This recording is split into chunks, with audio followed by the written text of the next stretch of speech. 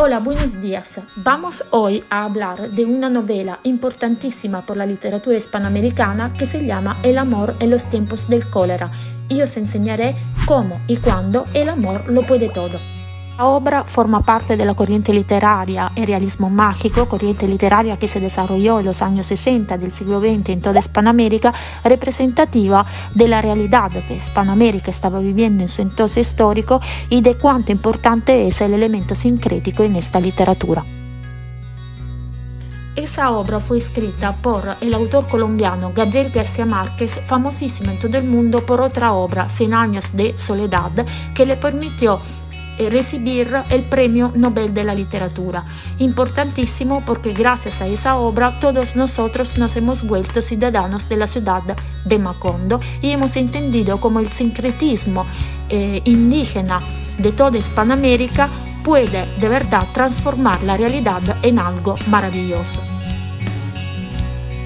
El tema del amor es el tema principal que recorre en todas las páginas de la obra. No se trata solamente de amores que se encuentran y se desencuentran entre los personajes principales, sino también de personajes secundarios que acuden a la obra casi dándole otra importancia y elevándose en el momento en que su historia está representada en los verdaderos protagonistas de todo el mundo y de todo el amor que expresan en ese momento.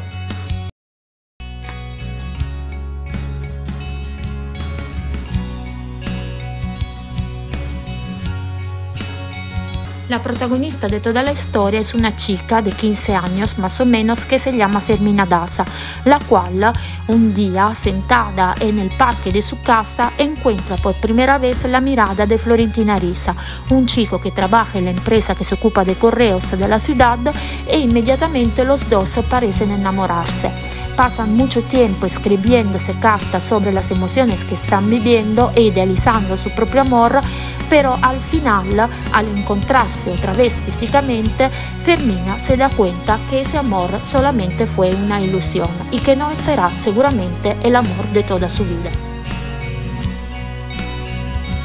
No se puede decir que lo mismo le pasa a Florentina Risa, el cual transforma ese amor idealizado en un amor totalizante, el amor más importante de toda su vida, el amor que le dará esos síntomas de cólera y ese amor que duró como unos 51 años, 9 meses y un día. El mismo Florentino declaró a Fermina el día de la muerte de su marido.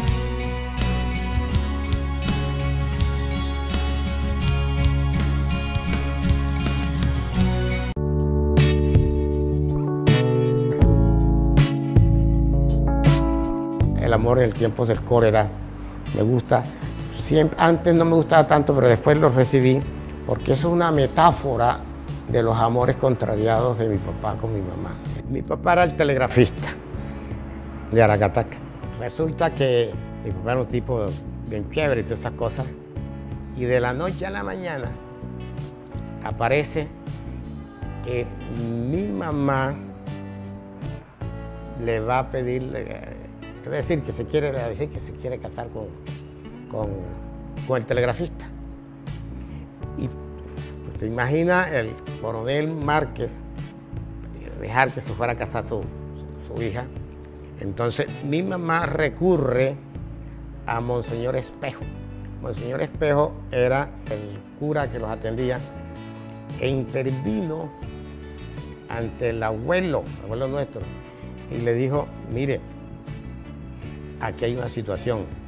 Tiene necesariamente que a los que se casan porque ella dijo que si no le dejaban casar, él se iba con el telegrafista. Y efectivamente aceptaron, pero mi tío Juanito, sí, hermano mayor de mi mamá, lo trae a Santa Marta para que se casen en Santa Marta.